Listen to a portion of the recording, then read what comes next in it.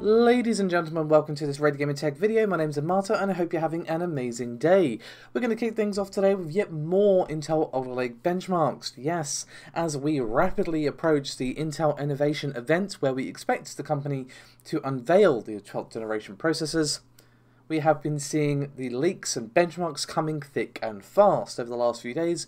We've had SiSoft Sandra leaks, Cinebench R20 and R23, and today we have a CPU-Z built-in benchmark results which shows yet more promising performance for the 12900K. Now, just as a bit of a disclaimer before I go into the benchmark itself, this is from the Bilibili forums. You can, of course, find it linked below. Now, the processor here is not labeled, but we can see that it has a 24 thread configuration, which of course is the configuration of the Alder Lake 12900K. With all the red tab out of the way, we see a score here of 825 points, which is a staggering 27% higher than that of the Zen 3 5950X. That is a pretty damn impressive result, especially when you combine it with the recent Cinebench R20, R23, and SiSoft Sandra results. And all of these results point to Alder Lake 12900K having some seriously strong single thread performance. And let's not also forget that an important distinction between Alder Lake and Rocket Lake is, of course, you know, the improvement in performance from the 11th generation, which, you know, generally was received with a bit of a eh by the collective you know, PC gamer and tech enthusiast world.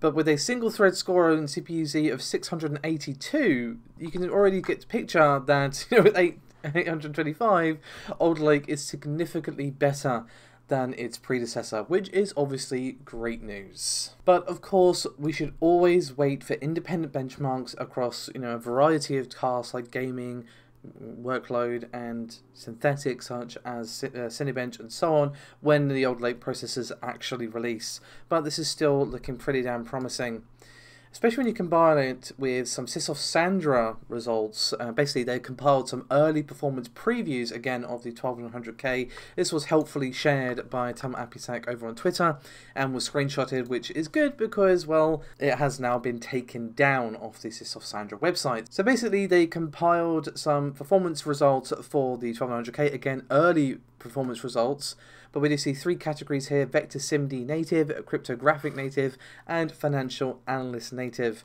Now, one very, very important thing to keep in mind is SiSoft Sandra themselves admit that there's not enough data here to draw any final conclusions, and not all of the tests have been run on the 12900K. But I felt, since we were talking about benchmarks for Alder Lake, be remiss not to mention this. Now, I'm sure you'd all agree that while again we can't draw any final conclusions from these results, it is interesting that these are kind of running in counter to the other leagues where the 12900K just isn't a clear winner here. It's barely beating the 5900X, 5900X, excuse me, in some tests, and is even beaten by the 11900K in some tests. But this is exactly why we should wait for full independent benchmarks when the product is actually out into the wild. But we're going to move on from that now to some news regarding Intel Arc Alchemist, otherwise known as DG2. Now this is a small thing, but nonetheless interesting, thankfully discovered by Momomo over on Twitter. You can of course find their tweet and everything else I've sourced for this video in the description below. So they have basically discovered some guidelines for the naming of the upcoming Arc Alchemist GPUs, which again is otherwise known as Intel Xe DG2. So we're basically going to be seeing some surprisingly simple naming conventions here for Intel Arc GPUs. Alchemist is simply going to be A, dash dash dash, whatever the number is. Battlemage is going to be B, Celestial C, Druid is D, and E, obviously we do not know if and what that particular series will be called.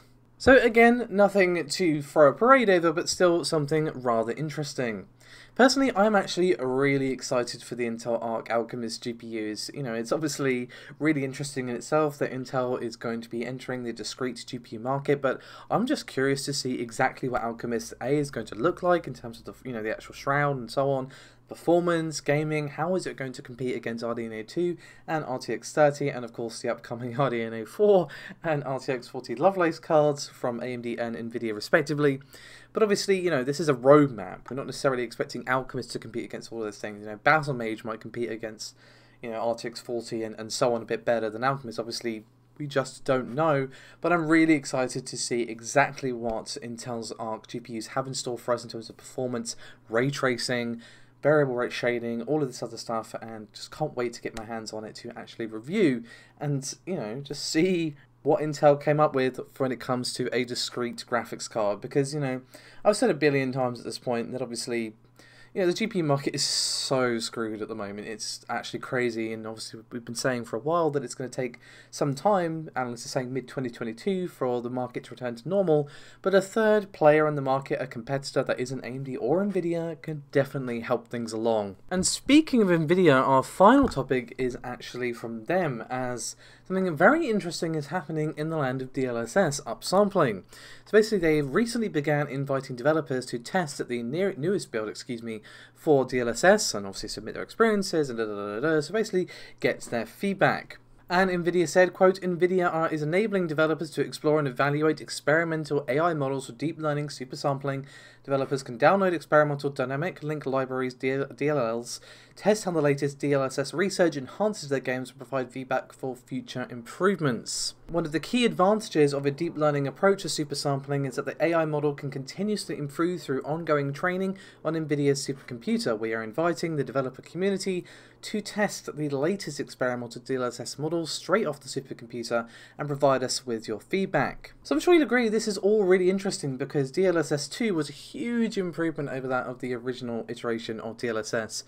So just imagine what DLSS 3 could look like if they're you know actually getting developers involved at this early stage, you know, really improving that AI because you know again they are allowing developers to train and test using Nvidia's supercomputer. So obviously they are still looking to improve visual quality on more games and obviously iron out any bugs, maybe add you know a couple other things in there there's obviously a lot of room to grow for DLSS, and I find it really cool that NVIDIA is still pushing, pushing, pushing, and look forward to seeing what DLSS is going to look like thanks to the involvement of these developers.